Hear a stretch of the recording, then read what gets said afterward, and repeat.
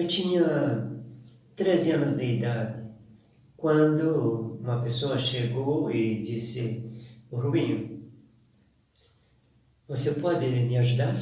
Eu disse: Qual o problema? Ele disse: Eu tive um parente que tentou suicídio.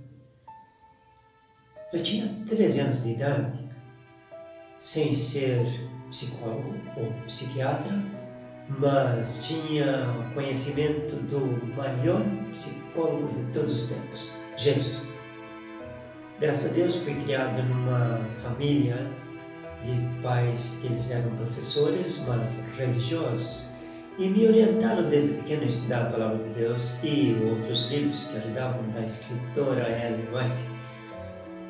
E graças a Deus, eu depois de pegar a minha Bíblia que eu tinha ganhado do meu pai Bíblia que continha somente o Novo Testamento, mas eu fui pesquisar e relembrar algumas coisas e lá eu fui orientar aquela pessoa. Conversei com aquela pessoa e então, no final, ele disse: Poxa vida, eu estava tentando me livrar de um problema, mas estava criando milhares de problemas. Eu não sabia que o suicídio não é o fim. Então ele me agradeceu.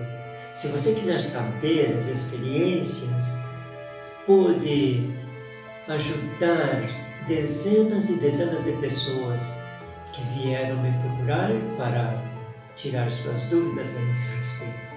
Deus encaminhava as pessoas para mim para que eu pudesse ajudá-las. Se você quer entender corretamente, me siga nesse canal. Tenho grandes experiências que vão trazer conhecimento e motivação para sobreviver.